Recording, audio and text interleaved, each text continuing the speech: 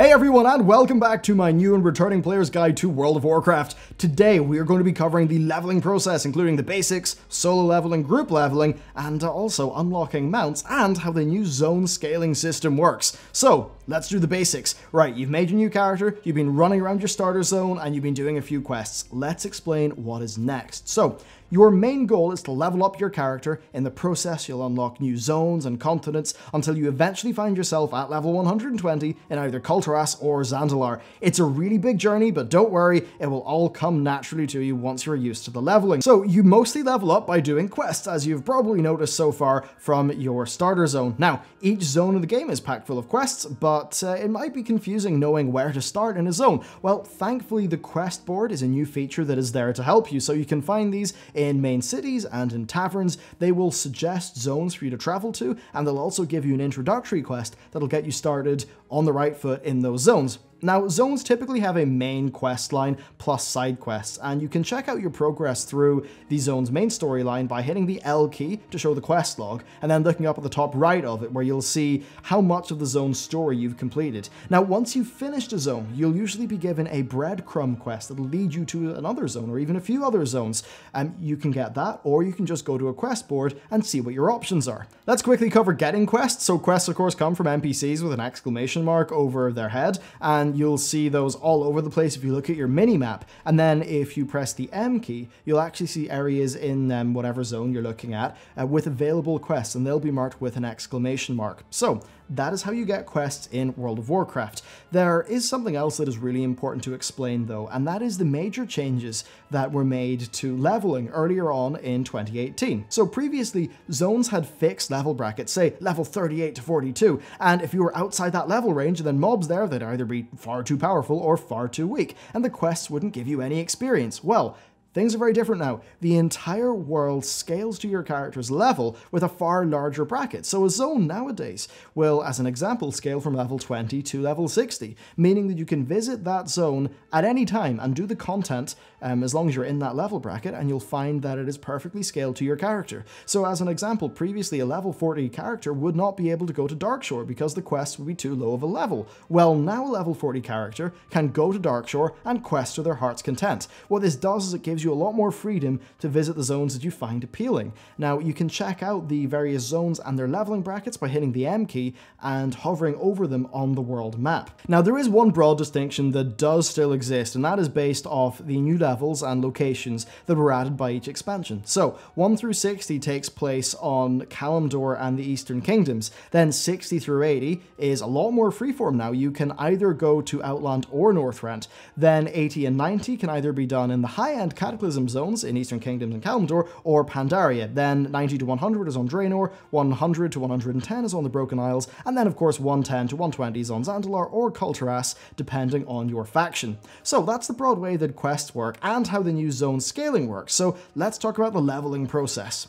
So if you're a solo player, you're mainly going to be doing quests. Usually you'll be led to a quest hub. You'll pick up the quests in that hub, you'll head out to the world, you'll do the quest, you'll come back, and you'll turn them in. This will get you experience and gear. Now, as you level up, you'll unlock more content and more of your class. You'll be able to head to more and more dangerous zones as you level up. You'll be moving from expansion to expansion until you hit the most recent content of Battle for Azeroth. Now let's talk about the gameplay features that you'll unlock over this period of time. So at level 10, you unlock class specs. Now as I covered last last week, specs dictate the role and the playstyle of your gameplay. Now, your first talent will allow you to customize your character within your chosen spec. Then further talent rows are unlocked as you level up, and they will give you even more customization, and you'll also unlock loads of new abilities. Now, talents allow you to customize your character. As an example, do you want to do more area of effect damage? Maybe you want to focus on single target damage, or maybe you want to add in a new gameplay mechanic for your spec, as well as choosing between different survivability and utility options. Now, if this is your very first character, one thing you might notice when you're running around the world is there's all these people with this shiny gear. What is it? Well, that's heirloom gear. Now, heirloom gear is purchased on a high level character, it's unlocked, and then it can be equipped by a lower level character. It is special armor that scales with a character's level, and it provides a experience boost. Basically, it's a way for existing players to level up new characters, often referred to as players by alts, a little bit faster. So if you're a new player, it's really not something that you'll have to worry about, but you'll probably see the benefits of it later on. Now, quite a lot of other content will be opening up to you as you level, so you can talk a guard in a city, and they can point you towards towards profession trainers. Now, professions allow you to craft items and gear as well as gather natural resources in the game. At level 15, you'll unlock the Dungeon Finder feature and uh, the initial few dungeons, and then as you level up, you'll get access to a larger range of dungeons. Now, completing a dungeon takes a group of five people, and that includes a tank, a healer, and three damage dealers. So it's easiest to do this though with the group finder feature. So what you want to do is hit the I key, you want to select your role, and then you want to queue up for a random dungeon. Now, if you have friends that you want to run the dungeon with, just invite them to your party before you queue up for the dungeon. But don't worry, I'm going to talk about dungeons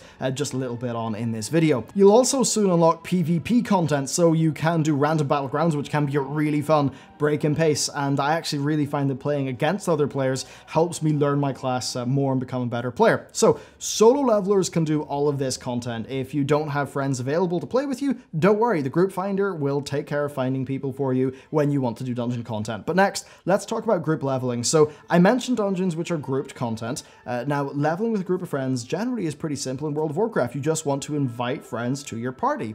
This um, will be great because you'll find the quest progress is shared. And then if you queue for a dungeon, while you're in that group, you'll all be queued together. And it's really handy if you can field a tank and a healer, because then your queue time will be nearly instant because those worlds are always in really high demand. Now, dungeons are a great source of experience. Um, you'll get a bonus for completing the dungeon, you'll get a bonus for doing a random dungeon through the group finder, and then you will also get experience from any dungeon quests that you have, and these can often be found inside the entrance of a dungeon and uh, be picked up once you're teleported in. So next, I just want to give you some dungeoneering guidelines. So a dungeon has, uh, you know, a group that's a tank, a healer, and three DPS. Now, generally the tank sets the pace for the group. This means that they initiate combat, and a big part of their job is managing enemies and guiding the group through the dungeon. So it's always best to hang back and follow the lead of the tank and, you know, never really pull enemies that a tank hasn't engaged with. And then while this is going on, the healer will be trying to keep everyone alive, um, and that's kind of the flow of a dungeon. Then once you get into a boss fight, you just want to be, you know, looking around you. The bosses will be doing abilities that will mostly be avoidable, but you do want to pay attention